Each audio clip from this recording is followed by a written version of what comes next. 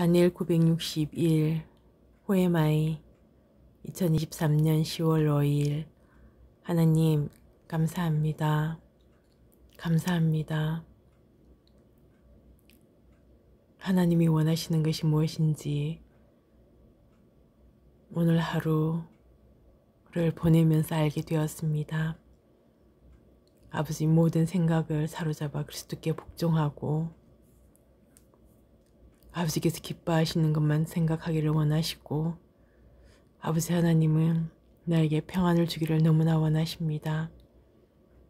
그러면 저는 저를 지으시고 저를 만드신 아버지 하나님을 경배하며 찬양하며 예배하기를 너무나 원하신다는 것을 알게 되었습니다.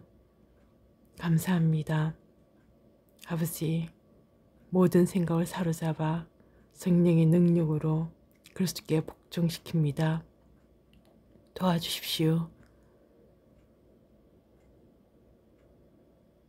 그리하여서 저희 심장이, 저희 마음이 예수님과 온전히 하나가 되게 해주십시오.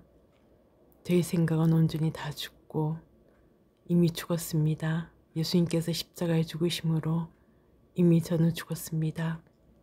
그러나 예수님께서 부활하심으로 저는 다시 살아났습니다. 이제 예수님과 한 몸이 되게 하시고 제 속에 있는 예수님과 한 몸이 되지 못하게 하는 더러운 것들 성령의 능력으로 다 파하시고 드러내 주시고 쫓아 주십시오. 아버지 예수님 이름으로 기도합니다. 아멘.